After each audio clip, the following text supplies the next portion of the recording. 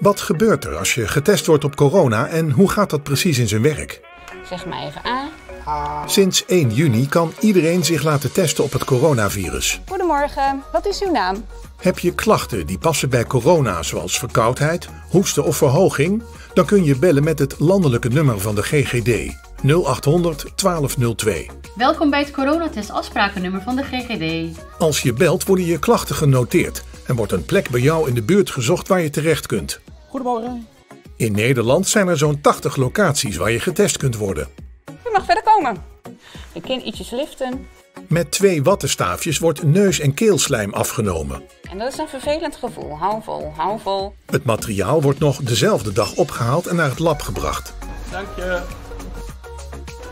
In Nederland werken er nu zo'n 50 laboratoria mee aan het analyseren van de coronatests. Het virus wordt eerst inactief gemaakt in een beveiligde omgeving, zodat de monsters veilig geanalyseerd kunnen worden.